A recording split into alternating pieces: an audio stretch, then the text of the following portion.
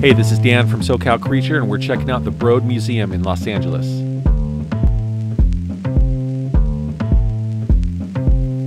Artists rarely do the same thing over and over again. Art is about the new, doing things in a new way. Eli Broad. Entering the museum is a bit like exiting the womb, if you remember what that was like. I remember it like it was yesterday. The museum, that is.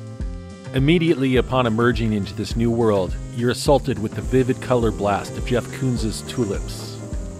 Let's talk about Jeff. Whoa, hold on. Let's talk about Jeff Koons. This American artist is most widely known for his polished stainless steel sculptures that resemble gigantic mylar balloons, like something from the dreams of a child the night before their birthday, or the nightmares of a utility lineman. Keep these away from power lines. Speaking of kids' birthdays, you're gonna need party hats. Jeff thought of that too. This one I like because it looks like it could be a collage from magazine clippings, but it's actually an oil on canvas that's over 11 feet wide. And lastly, Triple Hulk Elvis 2 was a big hit with the kids. Our next stop was the Roy Lichtenstein rooms.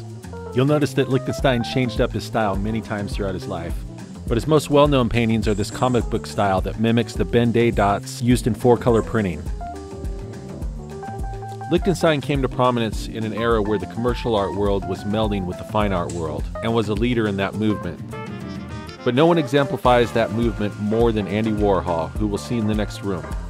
It's been said that Andy Warhol's celebrity portraits are so prevalent that in many cases they're more recognizable than the celebrities themselves. When you hear the name Marilyn Monroe, do you imagine a photo or movie that she was in, or do you imagine an Andy Warhol portrait? What about Liz Taylor?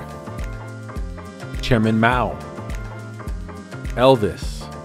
For me, at least, it's often Andy Warhol's portraits. What's the first thing that comes to your mind when you see this image? That would be Grizzly Adams for me. Moving on. Robert Therrien's Under the Table is a fun place to feel like a kid again. Initially, I got tickets for this particular day so that we could see the reopening of Yayoi Kusama's Infinity Mirrored Room, but that turned out to not be open yet. So this mirrored box called Longing for Eternity was our consolation prize. Still pretty cool. Walking into the room for Jean-Michel Basquiat has a very different vibe than the rest of the rooms in the museum. Like these paintings aren't meant so much for your enjoyment as they are a provocation.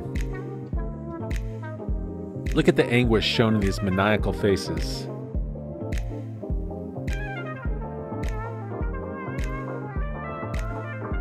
The museum has hundreds of other works of art by more artists than I can remember. And did I mention it's free? We just had to reserve a time slot on their website. I brought my son and one of his friends, and for both of them, this was their first experience at an art museum. So I wasn't sure if they were going to like it, but they both ended up having a blast. If you like this video, be sure to hit the like and subscribe button, and be sure to check out this art playlist with tons of other locations in SoCal where you can see art all of which are free because I'm cheap. Thanks for watching.